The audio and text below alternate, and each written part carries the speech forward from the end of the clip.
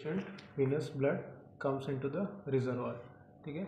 From reservoir it will go down to the venous reservoir outlet.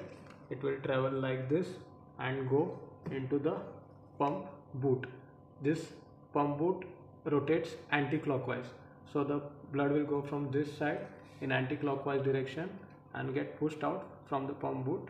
Okay? Here you will see there is a half 3 8 connector.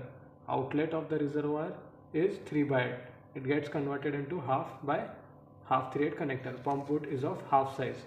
Then again it will come down to oxygenator inlet. Here it will get oxygenated and then from the oxygenator outlet it will travel further and go into the arterial filter inlet. Okay. Then arterial filter inlet it will get filtered and again from the arterial filter outlet it will go to the arterial line and arterial cannula to the patient so this arterial filter has a filter bypass line. So this is used for removing any air or in case of arterial filter failure for change out this filter bypass line is used. Then you'll see there needs to be a clamp here into the recirculation line. This is recirculation line of the arterial filter. This is recirculation line of the oxygenator. Then you connect the manifold here on top of the arterial filter okay?